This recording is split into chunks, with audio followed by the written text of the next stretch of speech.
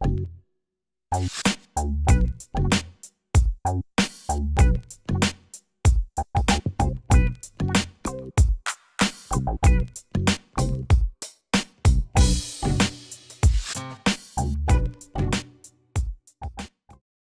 I'm Max Greenfield, and I'll be reading a very special book today. It's actually my son's favorite book.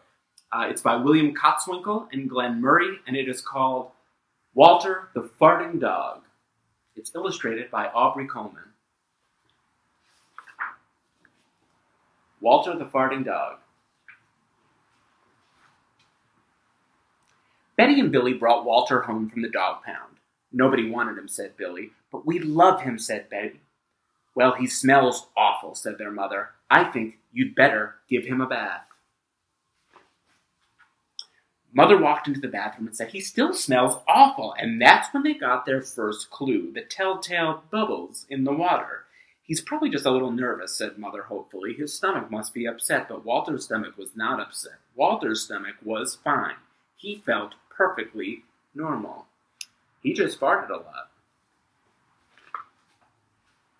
He did it when he bathed. He did it when he played with Betty and Billy. He did it when he walked around the house. He did it in the dining room. He did it in the kitchen. He even did it in his sleep. That dog farts morning, noon, and night, said Father. He can't help it, Daddy, said Betty and Billy. They didn't mind Walter's farts. So what if he farts? Billy said to Betty when they were alone in the room with Walter. Betty agreed. Walter agreed, too. He sat there, looking innocently around, farting. Take him to the vet, said Father. Farting, said the vet, or rectal flatulence, as we say in the medical pr- profession, and he prescribed a change in diet.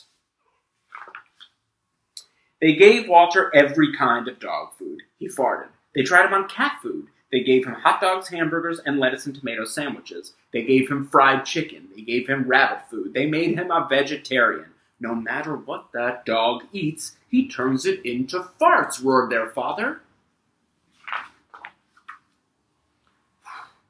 Walter got the blame for everyone else's farts, too. You know, if Uncle Irv let one slip, he just went and stood by Walter, and then all he had to say was, Walter, and everyone would look at poor Walter. He has to go back to the pound, said Father. No, Daddy, please, begged Betty and Billy. Don't send Walter away. He goes tomorrow, said Father. They pleaded. Walter farted.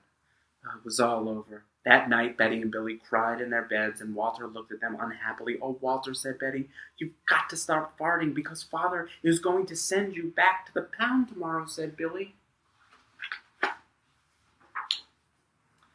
Walter knew just how serious the situation was. He'd never see Betty and Billy again. He resolved to hold in his farts forever. And when Betty and Billy fell asleep, he walked down to the kitchen to see if there was anything around to eat. He managed to open the cupboard door with his nose and found the 25 pound bag of low fart dog biscuits that the vet had prescribed for him, which had made him fart more. And even though he knew they made him fart more, he just couldn't resist. He ate the entire bag.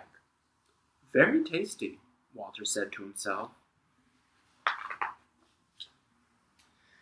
And then he went to lay down on the sofa, and a gigantic gas bubble began to build up inside of him. Oh boy, this is going to be trouble, he said to himself nervously. He was afraid of what might happen if he let it go. He thought maybe the house would explode, so he kept it in. It wasn't easy. In fact, it was torture, but he had resolved never to fart again. His future depended on it, and as he lay there, with his tail wrapped tightly between his legs, he heard a noise at the window. He watched it slowly open. A pair of burglars came through. They dropped silently into the kitchen. Watch out for the dog, one of them said. He won't bite, said the other. He's just a wimp. Walter may have bitten them, except he was so filled with gas that he couldn't move. They tied a rag around his snout so he couldn't bark.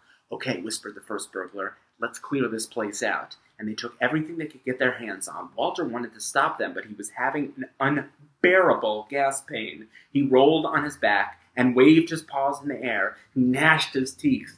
Oh, We have got to get it all, said the second burglar. Let's get out of here. That's when Walter let it fly. It was the worst part of his life. It made a tremendous noise and shot him across the room. A hideous cloud filled the air. The burglars clutched their throats, unable to breathe, and with tears in their eyes, they raced for the window. They tried to grab their bag with all their valuables in it, but their arms were too weak. Let's just get out of here, they said. They jumped out the window and they ran up the block, choking and gasping for air, still blinded by Walter's attack. They stepped into the headlights of, of an approaching police car. Hold it right there, said the policeman. And when father and mother came down in the morning, they found the open window. And they saw the bag with their valuables in it, and Walter was sitting beside it. He still had the rag tied around his snout. You could say, well, he looked a little heroic. He saved the silverware, cried Mother. He saved the VCR, cried Father. Good dog, Walter.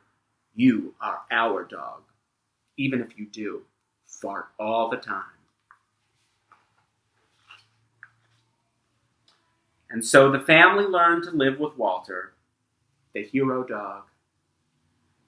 And that is the end of our tale.